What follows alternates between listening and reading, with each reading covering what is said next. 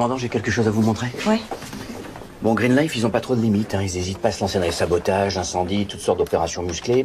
Parmi eux, il y a des black blocs, fichiers S pour ultra-violence. Tiens, tu le reconnais? Ouais, c'est Aurélien Weiss, non? Ouais. Il faisait partie des mecs qui ont découvert le corps de Lucher.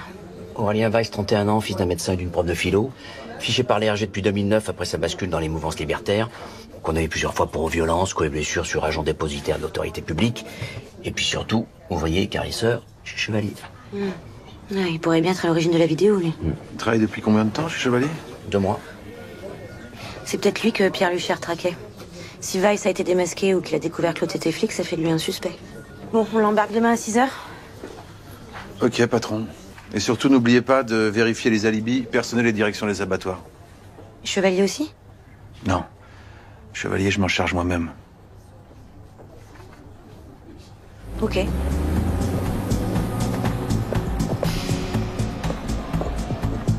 Pierre Luchel était affecté à la BBIPP, la VETO, la brigade de répression des fraudes alimentaires à la préfecture de police de Paris, siège rue de Picpus dans le 12e. Qu'est-ce qu'il foutait en Haute-Provence? Bah, c'est qu'il était pas contraint par la rationale Loki. T'as quoi? C'est du latin, Hergé. Enfin, j'ai pas fait la tare. Bon, en français, autorité locale. Ça veut dire qu'il avait la France entière comme domaine de compétence. Comme chez les stupes, la BRI ou l'antiterro, la veto, ils ont aucune limite d'action et surtout, ils permettent l'infiltration, comme les douanes. Mais il cherchait quoi, Lucher, aux abattoirs? Et comment ça se fait qu'on sache rien Bon, ça, je sais pas encore. Vas-y, passe-moi les clés, je vais conduire, ça va me détendre. Mais alors, qu'est-ce que vous faites Vous dormez là Les distractions sont rares. Ça fait longtemps que vous connaissez Samira Bah, ça fait trois ans, avant j'étais sur Montpellier. J'ai croisé son mari. Ah oui, oui. Ah oui, ça c'est un profil intéressant. hein. Parisien, euh, grande école, du fric. Puis le melon surtout. Hein. Vous savez, quand elle l'a connu, on était tous les deux lieutenants. Puis elle rencontre Chevalier et elle se retrouve commandant. Vous l'aimez pas trop, non?